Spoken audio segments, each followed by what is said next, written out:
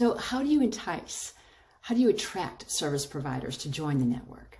Yeah, it's um, it's a it's a pretty easy conversation to be honest with you. Um, we're not we're not charging providers to be a part of our platform. Medicare Advantage plans hire us, um, meaning essentially we we turn into a referral mechanism for those providers and and as we have you know additional clients additional medicare advantage um, clients or even long-term care and, and other third-party payers um, we're we're essentially building a marketplace of, of these um, of these services and service providers um, to facilitate um, the care in and around the home.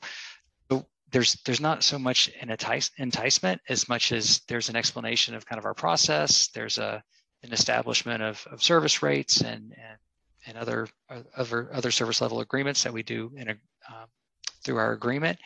We set them up on our portal and, and they receive referrals.